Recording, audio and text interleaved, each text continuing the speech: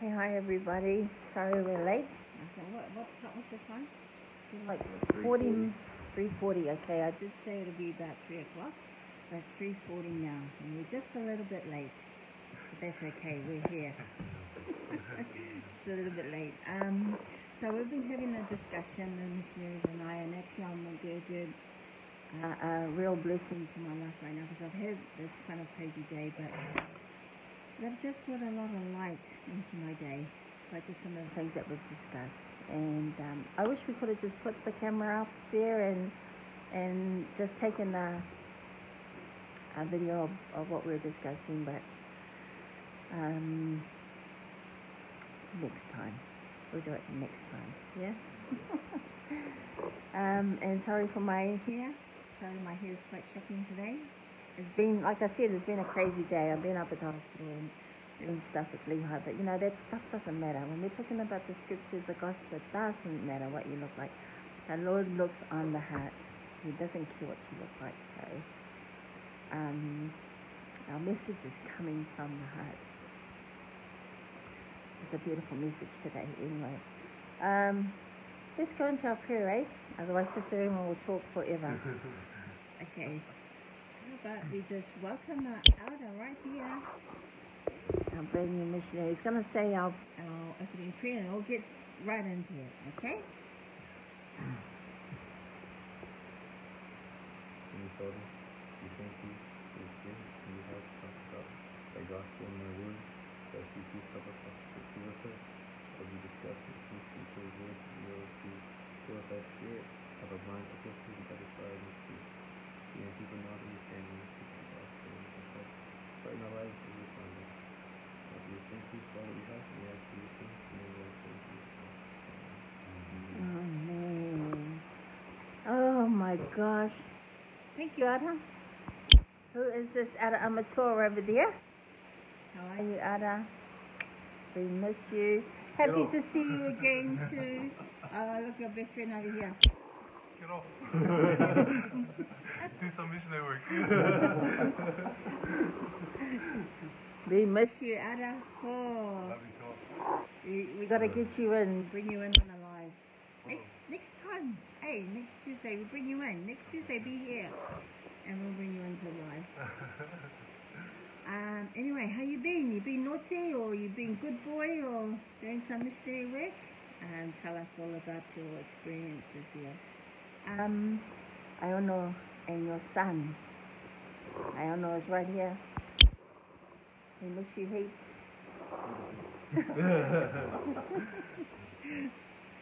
okay.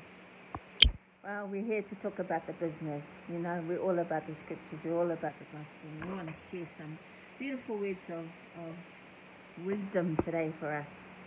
Um, so first what we're going to do, I'm going to head over to Ada Walker, and he is going to share with us his message.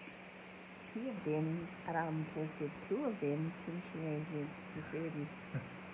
Yes, yes. Okay, so we're going to go into the scripture. Have you got anything to share about uh, this week's Come Follow Me? This is the only live we do um, this week on the Come Follow Me. If you've got anything you want to share or anything you want to ask us questions, whatever, then just put it in the comments, okay? Right, Anna? Go for. Alright. Well, Gotta speak up just in case the sometimes. You know, my phone is like a it's like an old one, and um, sometimes can't hear. Alright. Well, Hey.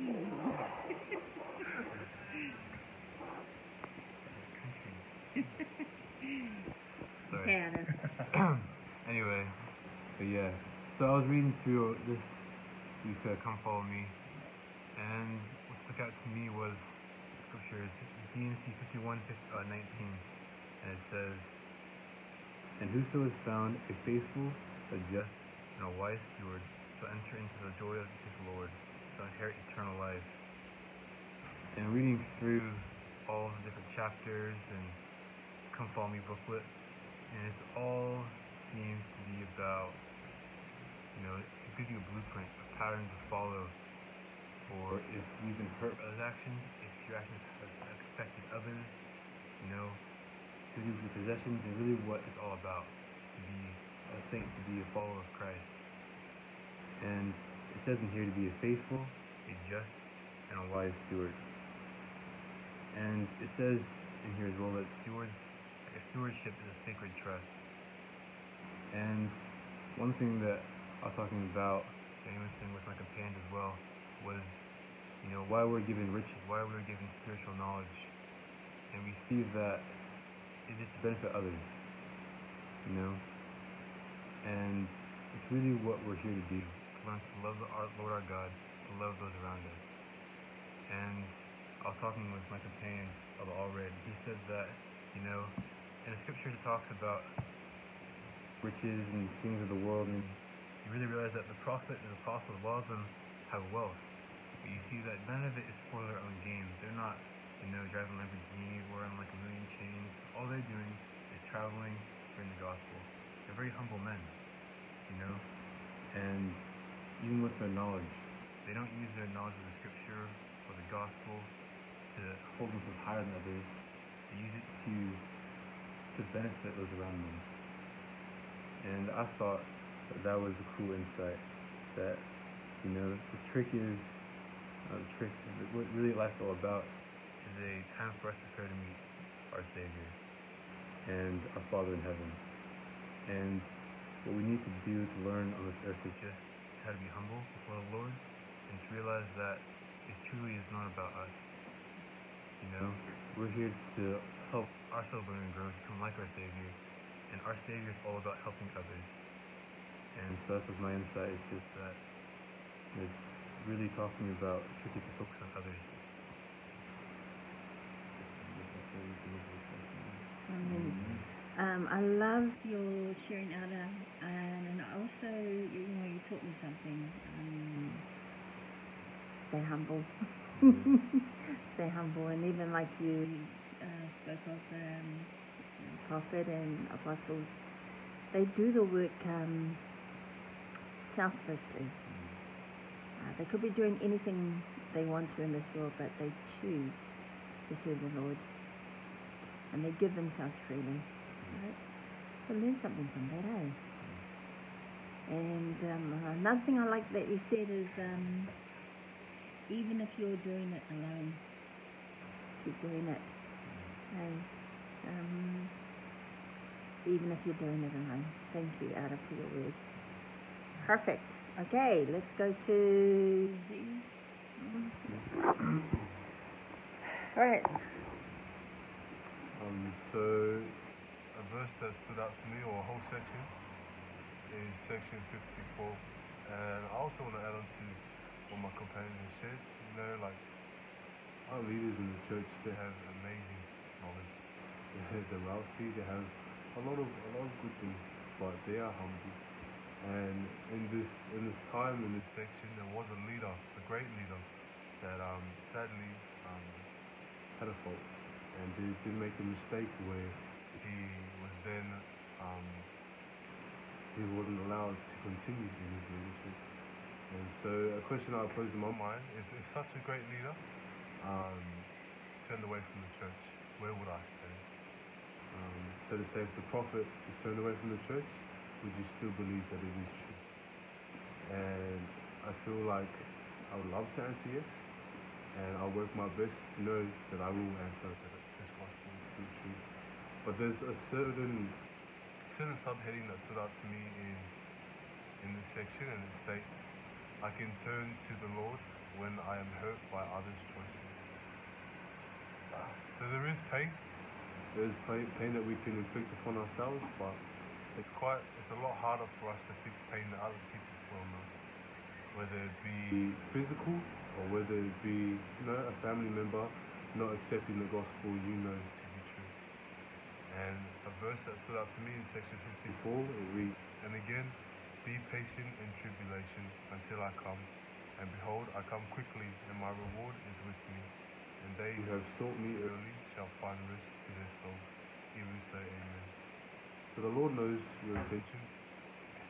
He knows that you're trying your best to try to fix up your pain as well as to try to fix up the pain that someone else might have towards you. And even though at this time that may not be resolved, just your intensity and your effort, the Lord will see, alright, I'll fix it. I will come quickly and I will overcome that burden for you. And these are my thoughts in the name of Jesus Christ. Amen. Amen. And I'm a said, I like your thought, uh, the humble is the most important to us as a missionaries to serving the Lord. And also it's easy for us to carry on and also to have a good conversation with the people we are teaching. It's not easy, but we try to do our best in our mission, in the missionary work. Good on you. Yeah, that's true. Rafaku, man, I just want to also emphasize that at Amitor, you are a humble and amazing companion, and I do, um, I do appreciate uh, the laughter that we've had, as well as the tribulation that me and you went through, the hardship that we felt together and we overcame together. I hope you're doing well in Kalgoorlie, my guy. Yeah, I like that you brought up the, you know, because you, you guys go through a lot, you know, when some people don't like you. Mm. Hey, do you get easily offended? Uh, how, what do you think? So, nah, thanks. I'm okay, yeah. uh, just, it varies, you know. That's part of life, though, Well, look, hey? some people see, see we, we have a badge on, but hey, we're human beings as well, and we're all in this journey together. We're just doing it in a way where we're missionaries. Be humble, is the key. Yeah. stay humble. Um, don't get easily offended. You know, we're not perfect. Everyone makes mistakes. Yeah, I guess it's my turn.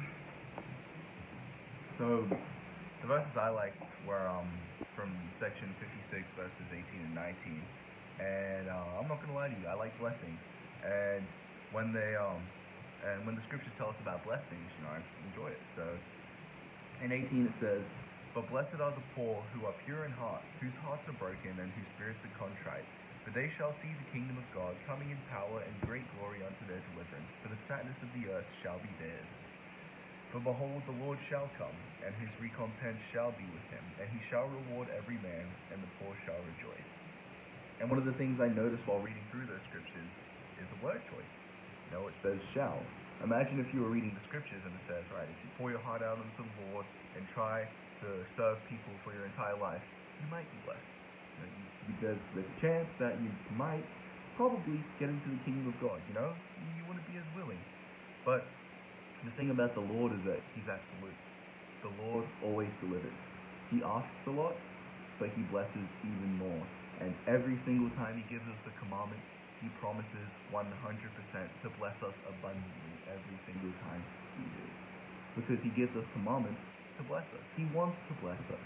He is a loving Father, and in giving us commandments, not only does He keep us safe and help us turn to Him, but it's an opportunity for Him to open the windows of heaven and to allow us to be blessed more than we can even handle. You know, it's, you know, I, I like reading about commandments because a blessing always comes right after it. And the Lord promises to bless us every single time we are obedient. Um, that's all I have to say. And I bear my witness that the Lord God is a God of truth. And whatever he says will come to pass. And if he says he will bless you when you follow the commandments, then expect blessings whenever you follow those commandments. In the name of Jesus Christ. Amen. Amen. All right. Thanks. Thank you, Ada. Yeah, your scripture was my favorite. Um, what was your verse? Um, verses 18 and 19 in section 56. 18, 19. So it goes from 15 all the way to 19. That's where all that gold comes out about the pure in heart.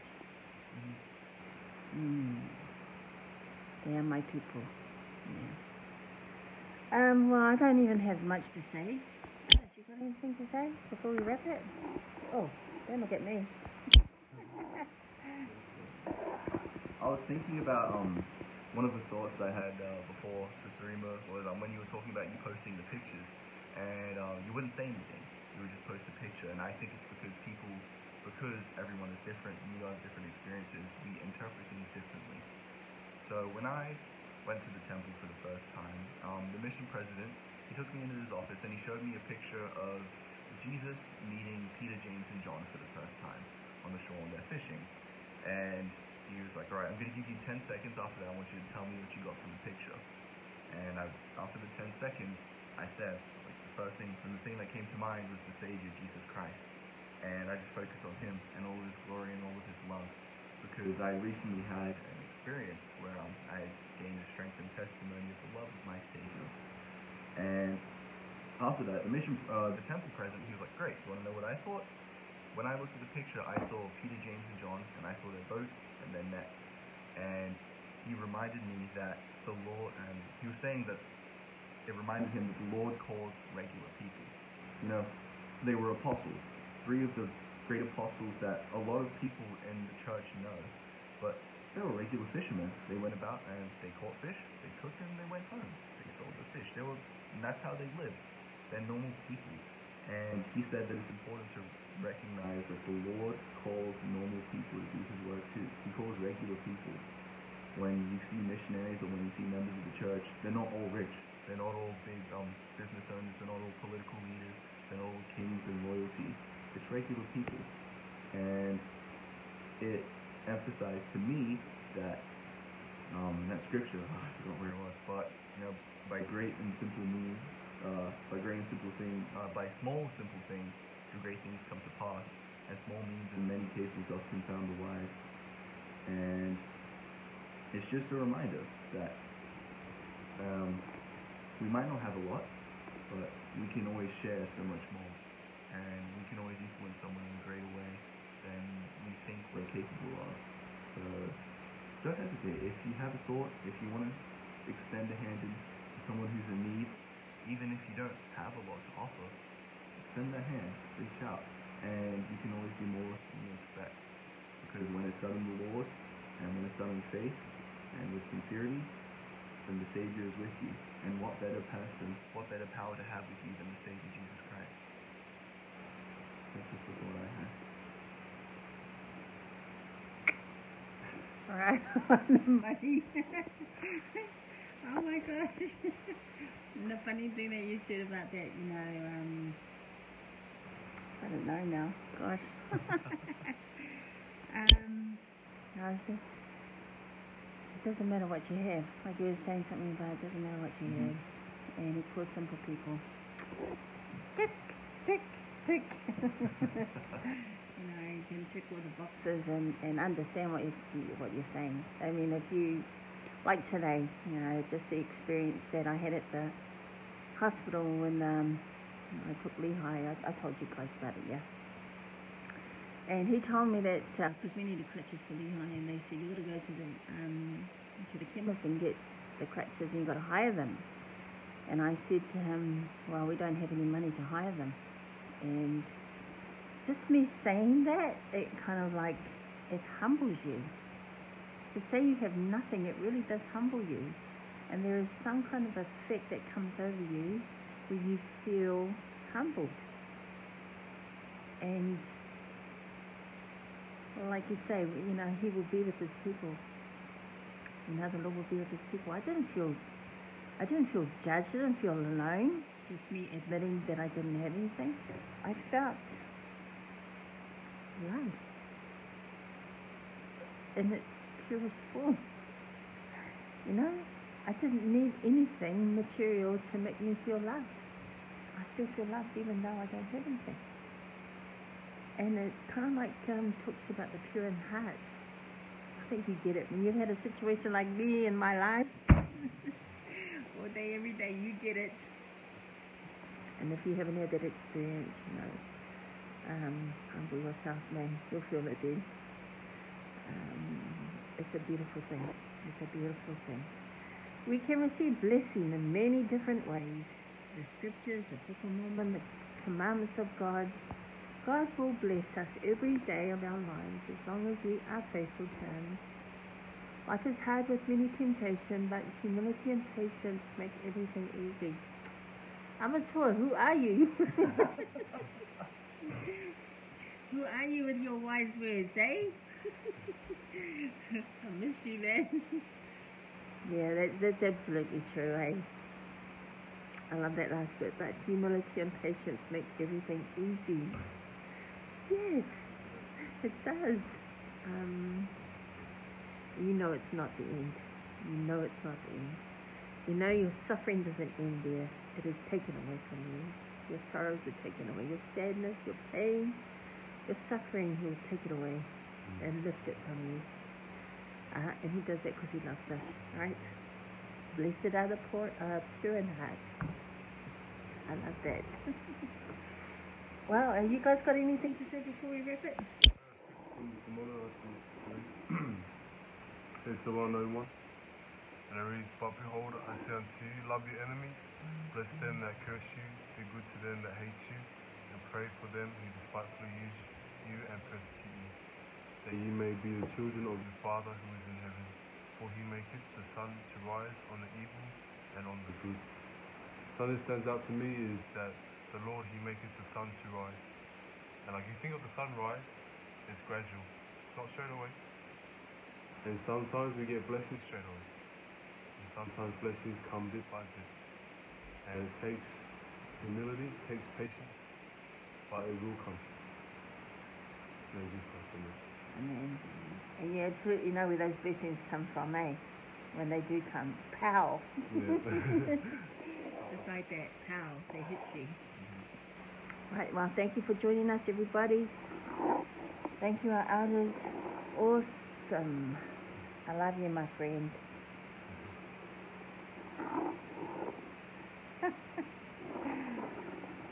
Get your, make sure your Wi-Fi is good next Tuesday at Amateur. Make sure your Wi-Fi is working properly so we can beam you in, okay? Next next Tuesday. Next Tuesday, you gonna come back next Tuesday? Yeah, yeah, yeah. Next Tuesday, same time. I'm gonna tell you get your Wi-Fi ready Try to finish this. Yeah, so and and charge your charge your phone. Make sure your phone is not gonna die. Okay. Love you too, Ada, and to your companion. Look after yourself. Be good. Take care of me. Take care of me, too. Thank you, Ada Walker. Thank you, Ada. All right. Um, well, you got anything to share, share away. Give us some questions, whatever. And um, we'll see you next week, Ada. Tuesday. Around this time. Okay? All right. Ada, can you give our question prayer?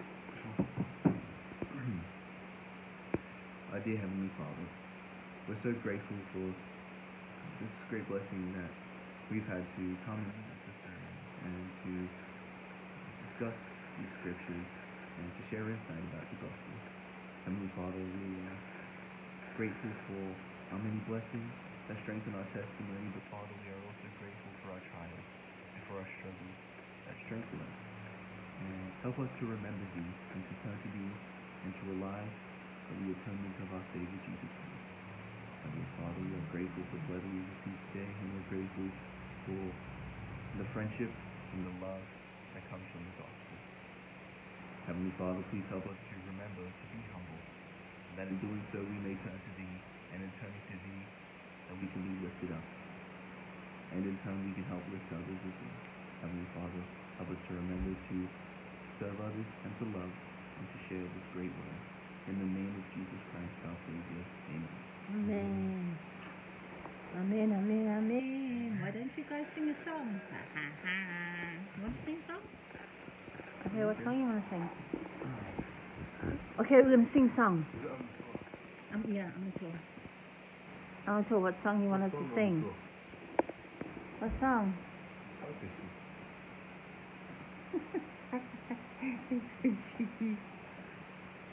Come on, what song you want us to sing? Well, it has to, it, it has to go with our lesson. It has to go with our lesson. Still my favorite well. I say this up? Okay.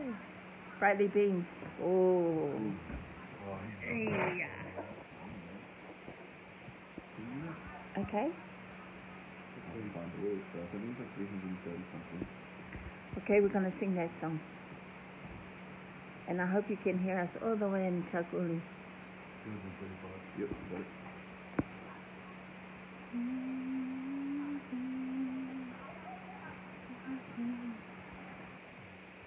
My neighborhood. This is the hood. Ahora vamos a regresar a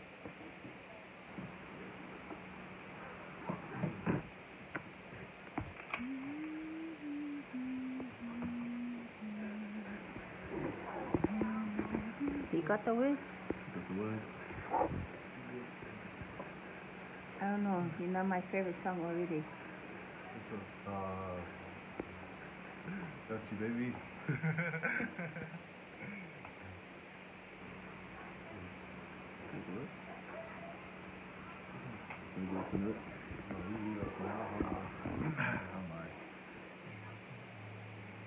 Alright. So Right